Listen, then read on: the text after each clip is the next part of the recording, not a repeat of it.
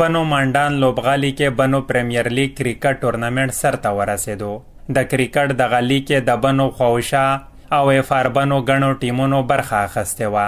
فاینل لوبه د میریان بنو او بکا خېل سیمې ټیمونو مابین وشوه چې میریان الیون فاینل لوبه په خپل نام کړه. دغه لوبې د کتلو لپاره زرګونه تماشبین جمع شوي ول. ځايي خلک وايي، د مثبت سرګرمۍ لپاره دغلته دومره په زیات شمېر کې خلکو جمع کېدل ښايي چې دغه خلک د امن او لوبو سره مینه کوي. بنو پریمیر لیګ مشر او اهتمام کوونکی طارق علي شاه وايي، د ټورنمنټ مقصد یې دنیا ته امن پیغام ورکول وو.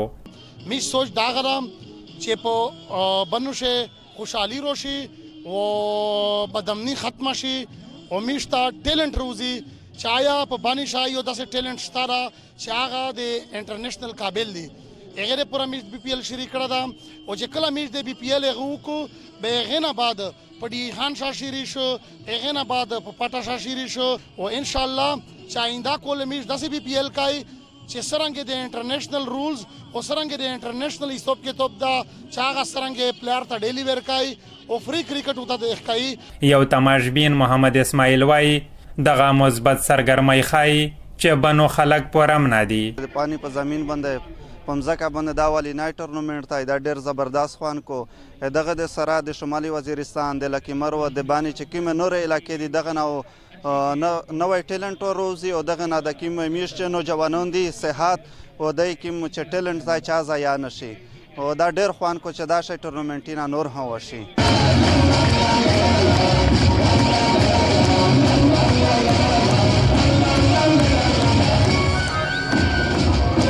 محمد نور دی او زه بګې خیل لاین نه کلیږم او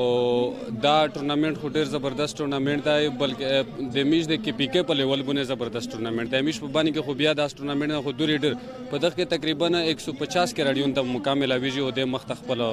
یعنی مخته په کتلای شي او دا خپل زونینا شو کوي شي پی سی بی لیول باندې غو په هر غو میش په فاټا او په کې پی کې کې خصوصا دا جنوبي اضلاع چې کې مې دی په دا کې ډیر ټیلنټ دی کده چې میش ته مو کېرو کو او دا شي ټورنمنټ نه ارته وکړو ان شاء الله چې پاکستان ته او چې دا سرنګ فټانه کې راډیون وروندي په دانه وزیوت شي په اخره کې فاینل میچ کې په اول او دویم نمبر راغلي ټیمونو کې ټرافیانې او نقد انعامات وویشل شول منتظمین وایي که دغه شان لوبو تر سره کولو کې دولت هم ورسره مرستې وکړي نو دغلته ځوانانو کې موجود ټیلنټ به مخې ته راشي او خلک به په مثبت سرګرمیو کې بوخت شي عمر دراز وزیر مشال ریډیو بنو